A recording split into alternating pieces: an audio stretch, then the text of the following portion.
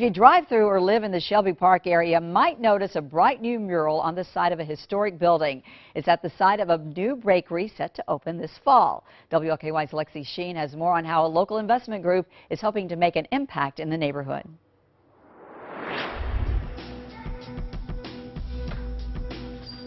For the past several weeks, for countless hours, day or night, Gibbs Rounsavall has been working on sunshine and shadow. It is 800 square feet, 17 feet tall, about 60 feet long.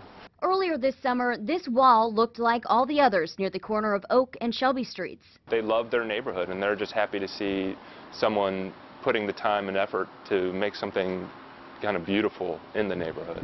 The graphic and vibrant mural was commissioned by Access Ventures, an impact investment group in Louisville. We provide holistic solutions to investing companies, organizations, and ideas that provide, uh, you know, en enables human flourishing.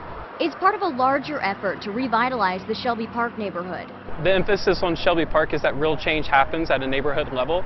And so we wanted to work with someone like Gibbs, who's involved in the community through teaching at a local high school, and then also a well-known artist here in the city. Gibbs is a teacher and chair of the art department at Fairdale High School. He started painting at the end of July after some of the neighbors volunteered to clean and prime the wall. He's doing the entire project by hand. So it's very interesting to see people kind of stop and see what's happening in the neighborhood and uh, it provides a different spin of what people typically think Shelby Park is about and doing. The business that will soon open inside this building is part of the reason this wall was chosen. Scarlet's Bakery, another Access Ventures entity, is a social enterprise working to help women looking to leave the sex industry. Our main focus will be um, the ladies that we hire and they will have been exploited in their past and this is an opportunity for them to kind of break free from that and really gain transferable job skills. For everyone involved, the collaborations were win-win. Gibbs sees a lot of wall space waiting for more great public art. I think it's very important. I think there are a lot of people that are looking for more opportunities like this.